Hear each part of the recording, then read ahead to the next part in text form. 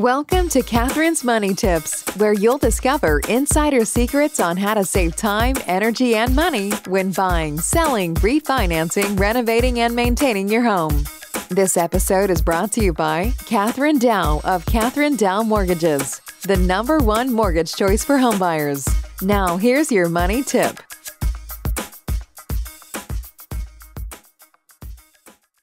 Okay, today we're going to talk about buying a home at an auction. Auctions aren't just for rich people. When houses are sold at auction, the prices can be downright cheap. Here are five things to consider before buying a home at an auction. Number one, what kind of properties are available?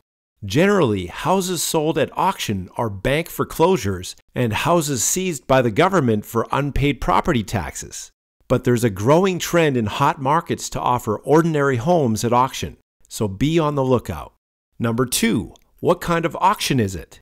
In an absolute auction, the highest bid wins, no matter how low it is. Some auctions require bids above a certain level, and in others, the seller can reject the highest bid if it's not acceptable. Number three, what shape is the house in?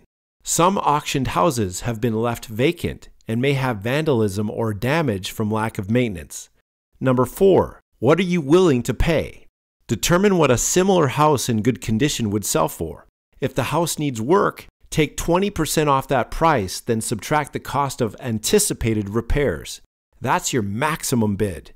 Number five, work with a realtor experienced in auctions. Not all realtors have experience in this area but the ones with experience can help you find the best prospects, see the potential, determine the value, and help you through the bidding process. So there you have it. I've just given you five things to consider before buying a home at an auction. For more information on how to search for and buy a home at an auction, call us today. We'll put you in touch with a trusted realtor partner to guide you through this entire unconventional home buying process. So, again, for more information, call us today.